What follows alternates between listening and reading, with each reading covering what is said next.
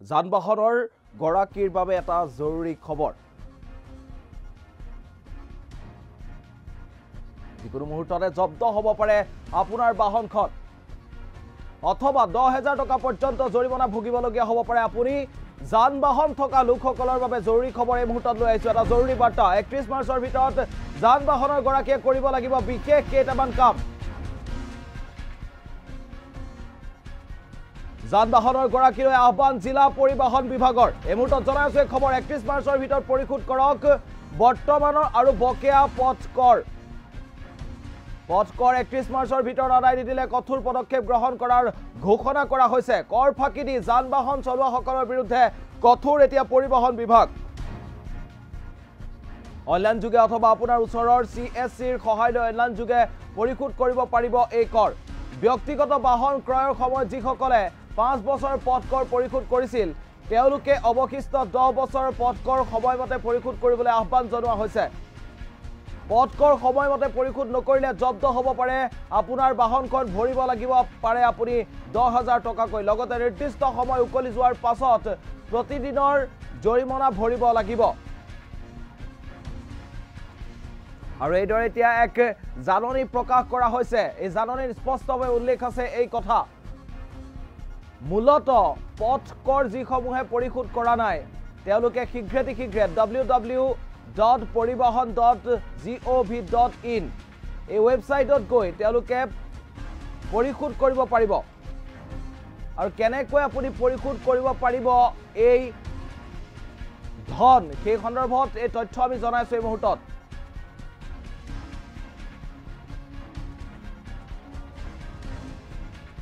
নিজৰ দৰ্শকসকলক এই মুহূৰ্তত জনাই আছোঁ এই খবৰ যে পথ কৰ পৰিশোধ নকৰাসকলে কেনেকৈ পৰিশোধ কৰিব? সেই সন্দৰ্ভত যি তথ্য আহি পৰিছে সেই তথ্য আমি আপোনালোকৰ সন্মুখত এই মুহূৰ্তত জনাই আছোঁ স্ক্ৰীণৰ জৰিয়তে।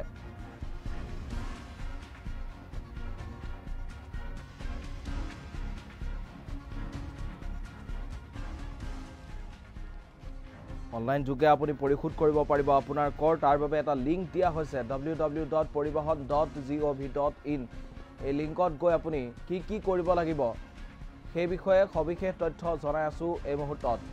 আৰু শীঘ্ৰেতি শীঘ্ৰে এই কাৰ্য আপুনি কৰক নহ'লে দহ হেজাৰ টকা পৰ্যন্ত জৰিমনা ভৰিবলগীয়া হ'ব পাৰে আপুনি।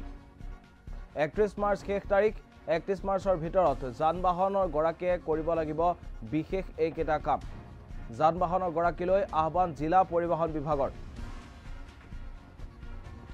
একত্ৰিছ মাৰ্চৰ ভিতৰত আপুনি পৰিশোধ কৰিব লাগিব কৰ। যিকোনো মুহূৰ্তত জব্দ হ'ব পাৰে আপোনাৰ বাহনখন অথবা দহ হেজাৰ টকা পৰ্যন্ত জৰিমনা ভৰিবলগীয়া হ'ব পাৰে আপুনি। যান বাহন থকা লোকসকলৰ বাবে জৰুৰী খবৰ এই মুহূৰ্তত লৈ আহিছোঁ। একত্ৰিছ মাৰ্চৰ ভিতৰত যান বাহনৰ গৰাকীয়ে কৰিব লাগিব বিশেষ কাম। যান বাহনৰ গৰাকীলৈ আহ্বান জিলা পৰিবহণ বিভাগৰ।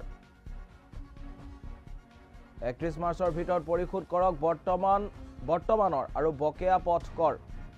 পথ কৰ একত্ৰিছ মাৰ্চৰ ভিতৰত আদায় নিদিলে কঠোৰ পদক্ষেপ গ্ৰহণ কৰাৰ কথা ঘোষণা কৰা হৈছে। কৰ ফাঁকি দি যান বাহন চলোৱাসকলৰ বিৰুদ্ধে কঠোৰ হৈছে এতিয়া পৰিবহণ বিভাগ। অনলাইন যোগে অথবা আপোনাৰ ওচৰৰ চি এছ চিৰ সহায় লৈ অনলাইন যোগে কৰিব পাৰিব এই ব্যৱস্থা। ব্যক্তিগত বাহন ক্ৰয়ৰ সময়ত যিসকলে পাঁচ বছৰ পথ কৰ পৰিশোধ কৰিছিল তেওঁলোকে অৱশিষ্ট দহ বছৰ পথ কৰ সময়মতে পৰিশোধ কৰিবলৈ আহ্বান জনোৱা হৈছে। পথ কৰ সময়মতে পৰিশোধ নকৰিলে জব্দ হ'ব বাহন ভৰিব লাগিব দহ হেজাৰ টকা পৰ্যন্ত জৰিমনা। লগতে নিৰ্দিষ্ট সময় উকলি যোৱাৰ পাছত প্ৰতিদিনৰ জৰিমনা ভৰিব লাগিব আপুনি। আৰু কেনেকৈ আপুনি পৰিশোধ কৰিব? আপোনাৰ মোবাইল নম্বৰ আপুনি প্ৰবিষ্ট কৰিব লাগিব সেই বিশেষ লিংকত গৈ। আৰু আপোনাৰ পঞ্জীয়নভুক্ত মোবাইল নম্বৰ প্ৰেৰণ কৰা অ' টি পি প্ৰবিষ্ট কৰক।